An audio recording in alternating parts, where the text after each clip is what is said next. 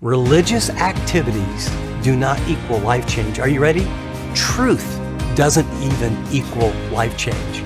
I, I have met people who know the Bible far more than me that don't even believe in Jesus. Truth that is put into practice produces freedom and life change.